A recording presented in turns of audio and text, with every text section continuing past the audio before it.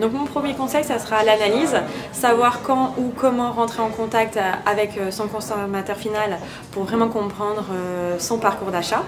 Le deuxième, ça sera monitorer, comprendre ses KPI et autres variables pour atteindre ses objectifs de manière plus granulaire. Le troisième, ça sera anticiper.